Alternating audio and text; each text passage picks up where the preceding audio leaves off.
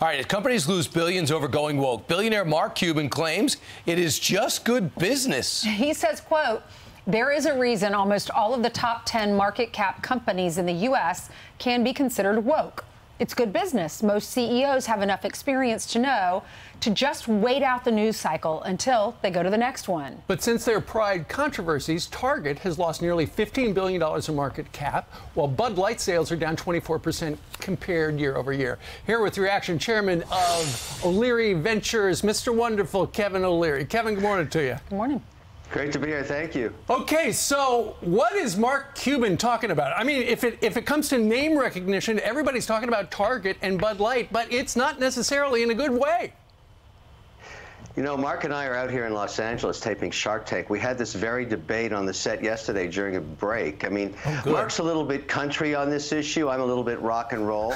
the thing about business is you can measure it. When you lose $9 billion of market cap, that goes right to the pocketbooks of shareholders. And you lose 26% share in a beer company, that's unprecedented in the history of beer. Never happened before. Usually those shares move up and down 1 or 2%. Mm -hmm. And they wiped out so much market cap in terms of value.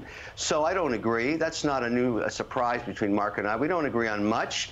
We're good friends, though. There's lots of room to have this discussion. But in business, it's all about the money. And what happened here is a very important lesson was learned by those boards of directors and the CEOs. Mm -hmm. The shareholders are not happy. So when you look at Disney, and another example, the CEO lost his job, so the CEOs know what they're doing, but not all the time, though, from because of their woke policies and clashes with government. But I guess he's. I'm trying to figure out and you know because you debated him what he's talking about. Does he think that society changes? That if you look back 15 years ago about what we thought about same-sex marriage and other things, that we've evolved on that, and that maybe business is ahead of society? Is that what he's building this on? No, I think what they've learned, and this is kind of important, when you're Disney or you're, uh, you know, beer company or your Target, you have customers of every kind, Republicans, Democrats, gender specific or in a gender neutral, it doesn't matter. You want to sell everybody everything all of the time. Right. When you get involved in partisan issues, you basically lose 50% of your constituency. Why you would do that when you're a consumer goods or service company, everybody's learning, makes absolutely no sense. The role of a business, a corporation in America, for the last 200 years has been to serve customers, their employees, and mm-hmm. their shareholders.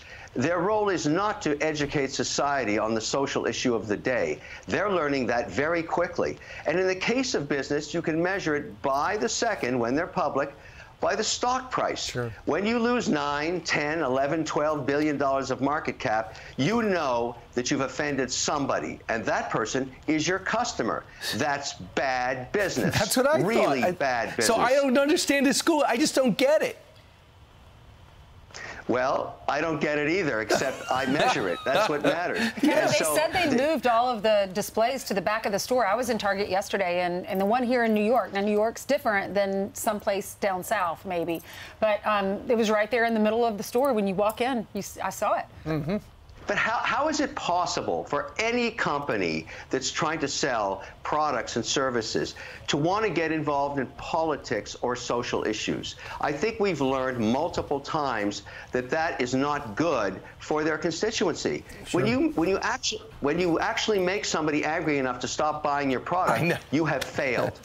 I know. I agree with you. I just like I don't know. I'm just Kevin I'm, O'Leary I'm joining us live today, channeling the Osmonds. He's a little bit rock and roll. Mark Cuban a little bit country. Kevin, thank you very much for joining us live. And Thanks, on this, Kevin. he's a little thank bit crazy. You. I think. Thank you.